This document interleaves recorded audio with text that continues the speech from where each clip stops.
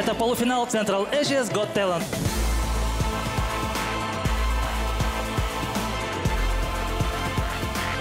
Все очень талантливые, один номер лучше другого. Идеально с технической точки зрения.